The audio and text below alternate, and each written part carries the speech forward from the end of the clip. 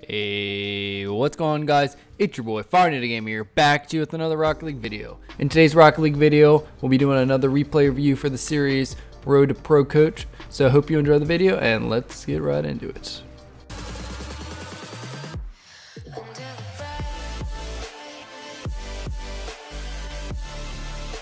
So we're already getting right into it. Just 13 seconds and a mistake by our teammate and they're going to be able to score right from that. So see sharp challenge, bad challenge by him. You're to launch it up the field. Hits it right to him. So what he should have done is right here as he saw this was coming he needs to be hitting it towards the wall and not trying to hit it towards that way which that's what he does because their guy Adam is just to be making his run towards this way and he's to have an open shot since the teammate is, or my teammate, all the way on the other side trying to get boost, which there is none, so he isn't able to get back. So as you see, he passes it right to him and they get a goal from it. The best thing in threes for the kickoff, as you see, is its logic right here coming to the ball versus Paul. So they're both going to meet up in the center and hit the ball. And it's probably going to either stall or go to one of the sides. So right here, my teammate should have pressed up, cheated on this one, while I went to go get the boost on the side. That's the best strategy for kickoffs and 3v3s nowadays. So what actually happens is he goes wide and he gets beat to the ball because of it Adam beats him. Our next big mistake was at 3 minutes and 1, still 1 to 0, and we have a double commit here. So what I probably should have done is let C Sharp attack him since he had the better angle to block, and I needed to go back because Paul over there is way too far away to get back in time. So if we both get beat here, it's probably going to be a goal. So we both get beat because of it, and luckily Paul somehow gets back, and I was able to get a far enough clear. So right after I got that clear, it's floating, it's not looking good, so I decided to do a squishy save, and it works out perfectly, get the save, and save our team a chance of actually being able to come back and win. So right here, as you can see, he's gonna bang that one up the pitch. So what you should do, as you can see the line of where the ball came from, went down here. So what you should always do is for a long clears, you gotta aim for either that far corner or you should be aiming for the other far corner with as much power as possible for the clear. Don't try to hit it when you hit it center. That's a big no-no because they're going to have a better chance to clear it right back at you and be able to counter from that. On this play of 2 minutes 14 left, my teammate should have been challenging the, that as fast as possible. I should have been getting back right behind him. And Nags is also going to challenge that. Even though it looks like he's close to the ball, he's not going to have the momentum because Nags is actually moving while my teammate's stationary. So he has to block off the angle of shots. Adam is eliminated from the play and can't challenge since he's facing the opposite way, and so is Logic and Paul.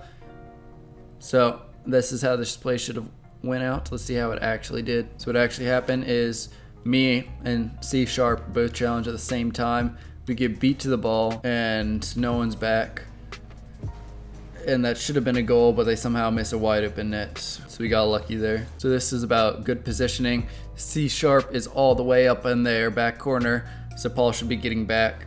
And I see right here that Adam is not gonna get a good touch since he's jumping off the ball at that angle. So he's just gonna barely touch it to me. So what I should be doing here is trying to bang it off the crossboard because both their defenders are back still and either let me or one of my teammates score, but I decided to take that one since it was a wide open net and finish it. Mental part is once you score one goal, as you see right there, you're to score a lot more. As long as you get over that one goal, then momentum can totally change. So you could be losing the whole entire game into the final minute, and then you get a goal either by accident or by good playing, and the momentum can totally change just as you see right here. Whereas I've been talking, there's been two more goals and now we're up 3 to 1 with a minute 15 left. So those are all the big mistakes in the game. So we're now going to be going over is we're going to be going to extras, we're going to be going to workshops, and we're going to be doing some obstacle courses to get your aerial car control better, as well as your dribbling better. So the first one is the dribble challenge number two. It's by French Fries. You can go under Steam if you're PC. This is for only PC players. And what you got to go to is scroll to the bottom under games of Rocket League, and then they have workshops, and you got to click that and search through the ones you want. So if you've never seen this, this is really good to work on your car control with the ball on top of it. So dribbling, we got to go as fast as possible. But again, speed is not of the essence. It's about learning how to dribble. So I accidentally had my ball cam on, but still completed it. So we got through the first two levels. First few levels should be pretty easy. As long as you're somewhat decent at dribbling. I've been working on this recently. So it's just repetition, keep on practicing, don't giving up. And then you'll eventually get it. And then you'll be better the next time. So what I did for my plan was I had to do 30 minutes of this every single day for a whole entire week. And because of that, I got pretty decent at dribbling and learned how to flick the ball really well. So this one you gotta wait for the wall to pass. Just like that.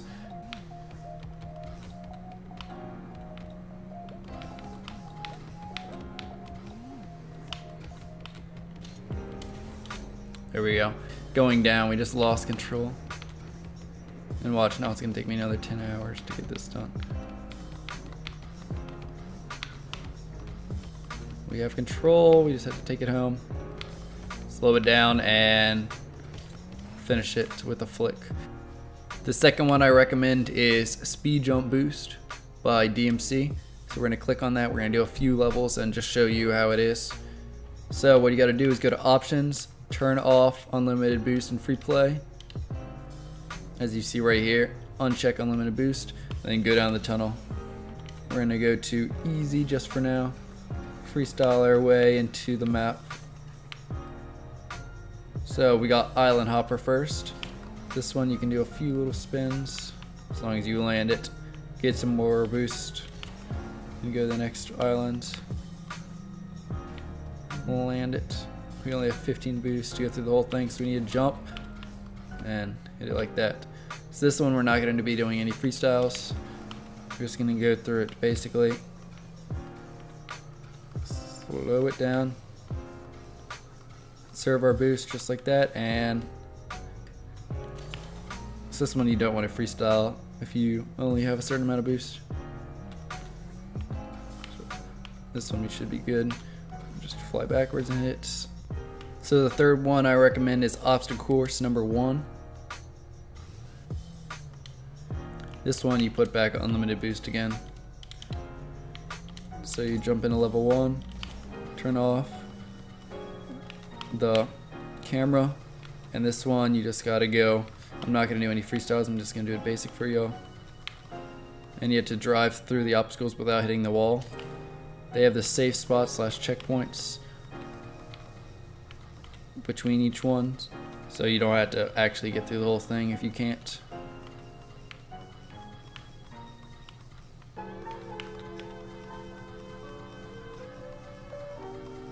go up, slow down, go under. So this helps with your aerial car control a lot. If you just practice this a little bit every single day, you should be able to get pretty good at it. Change. Okay, there we go.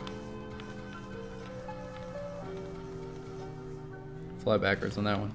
So we'll hit it with a little bit of freestyle. And this one you don't want to freestyle unless you're like really good at car control and somehow get through it all.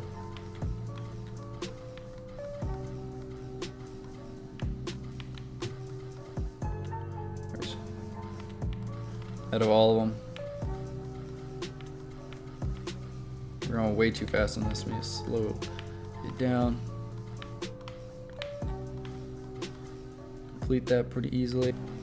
I'm trying to do it with a little bit of freestyle. I'll do it backwards actually. That's what I'll do instead.